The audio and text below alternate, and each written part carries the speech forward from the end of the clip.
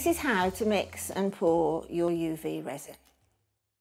Take the bottle, obviously take the top off. If underneath this, uh, if it's a new bottle, underneath there, there's a little stopper. So unscrew that first, remove that little stopper, and then you've got your little nozzle here. Just as um, a caution, when you finish pouring, put the lid back on top of that nozzle so that you avoid a cure of the resin. Cure means hardening.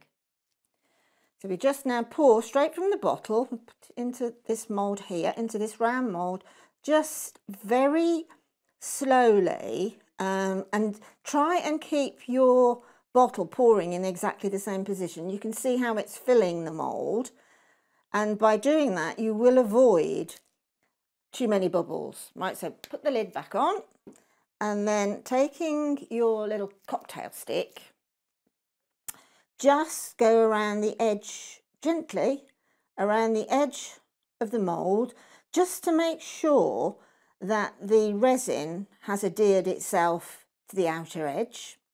No bubbles in that one, so that can go straight under the lamp now for a pour.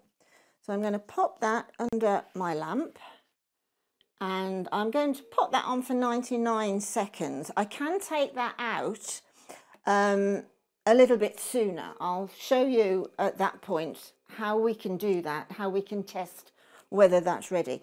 But the thing is with a clear pour, you will find that it will cure a lot more quickly than um, if you've got any additions to it. So a clear pour on a mould like this would probably cure within a minute. But just err on the side of caution, go for that minute and then go up in intervals of 30 seconds. You can always remove the mould from the lamp at any time and it will not affect the cure on the resin at all.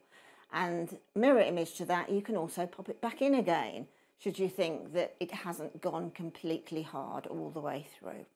Obviously, um, the depth of the resin will take longer if the depth is larger.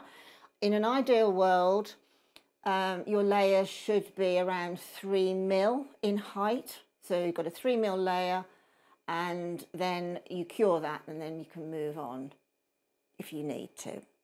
So we're just going to look now, if I'm just going to pop my cocktail stick under the lamp and I'm just going to tap. You can see I can't move that whatsoever. The cocktail stick's not causing any indents on the resin.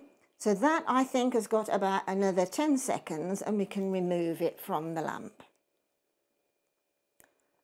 So I'm going to turn the lamp off and then take it out from the lamp.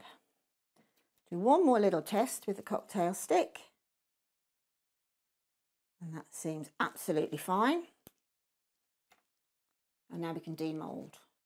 What you do, you put your finger underneath the mould, ever so gently, just in case we've um, got a, a little bit wrong, that it hasn't quite cured, you need to pop it back straight back in again, but we'll just gently lift.